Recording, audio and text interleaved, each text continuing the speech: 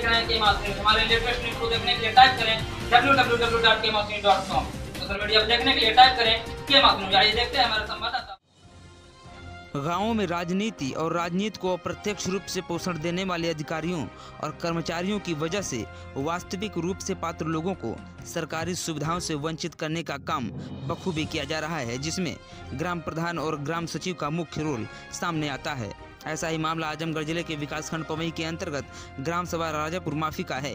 राजापुर माफ़ी के रहने वाले विजेंद्र कुमार का दो वर्ष पहले बारिश के चलते मकान गिर गया था, लेकिन आज तक सरकारी आवास नहीं मिला। काफ़ी भाग दौड़ और मशक्क़त के बाद किसी तरह आवास के लिए नाम दर्ज हुआ, लेकिन आवास नहीं मिला। इस मामले पर जब वीडियो पमई और ग्राम सचिव से बात किया गया तो उन्होंने साफ़ शब्दों में कहा कि विजेंद्र कुमार के पिता का नाम गलत हो जाने से आवास नहीं मिल पाया। अब देखने वाली बात यहाँ ये है कि विजेंद्र कुमार के पिता का नाम गलत कहाँ से हुआ? इस पर जब बात किया गया तो ग्राम सचिव बात करने से साफ़ मना कर दिए। यहाँ बात साफ़ होती है कि ग्राम सचिव भी गाँव की राजनीति में अपनी अप्रत्यक्षित भागीदारी निभा रहे हैं। आइए देखते हैं हमारे संवाददाता सोनू कुमार की रिपोर्ट।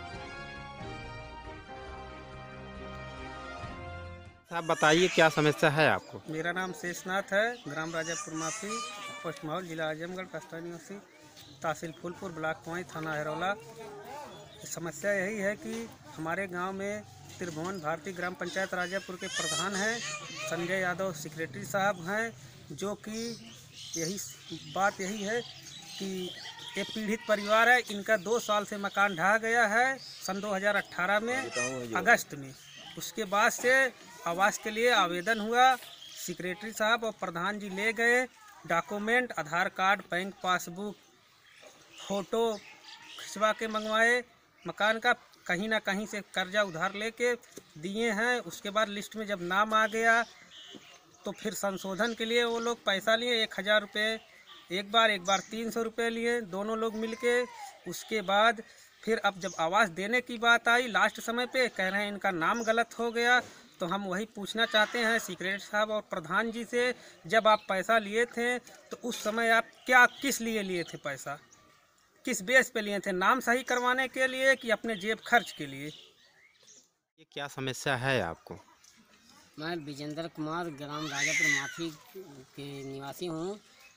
पवई ब्लॉक पवई जिला आजमगढ़ के निवासी हूँ। हमारा समस्या यही है कि बाढ़ में मकान ढह गया था, उसके बाद इसी कारण से मैं स्कूल में साल से रह रहा हूँ बच्चों को लेकर रह रहा हूँ प्रधान और सेक्रेटरी आए, इसको मायना किए, मायना करके कागज़ भी लगवाएँ, और ऑनलाइन भी करवाएँ, अभी तक कोई सुनवाई नहीं हुआ।